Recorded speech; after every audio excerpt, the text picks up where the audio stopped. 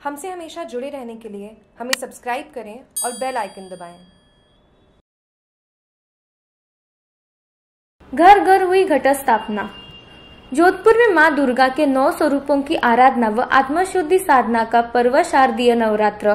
बुधवार को घरों व मंदिरों में घट स्थापना के साथ आरंभ हुआ। शारदीय नवरात्र पर अभिजीत काल में घर घर अनेक स्थानों पर माँ दुर्गा की प्रतिमा भी स्थापित की गई है। बुधवार को पहले दिन हज़ारों श्रद्धालुओं ने मेहरानगढ़ स्थित चामुंडा माता जी के दर्शन किए। यहाँ ब्रह्म मुहूर्त पर माँ चामुंडा के साथ अन्य देवी देवताओं की प्रतिमाओं का जलाभिषेक कर नई पोशाक पहनाई गई।